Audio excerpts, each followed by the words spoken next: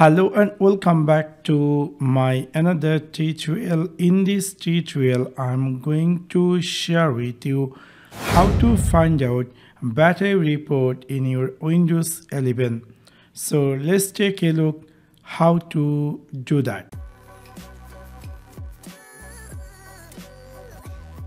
Maybe somehow or some cases you're looking for battery report in your Windows 11 laptop. In order to do that, it's really very easy and simple.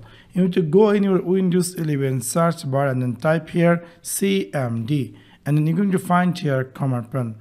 Open this run as administrator and then you're going to see the command prompt going to be up here.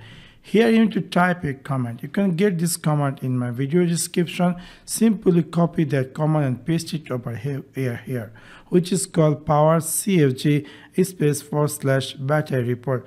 After type this command, you need to press in your keyboard enter and then you're going to see the sync to battery life report save to file path C Windows system 32-bit battery report HTML. So you have to find out in this targeted folder you have you will going to find a battery report. So what you have to do, open this PC and then go over C drive and then go and open this Windows folder and then try to find out system 32 this is a system 32 and then here try to find out battery report html file so i'm going to try to find out the battery report can see obviously this is a battery report. See if i'm going to open this we're going to see the details about our battery in my laptop. So in this simple way you can easily find out the battery report in your windows 11 so that's for now. Thanks for watching my video.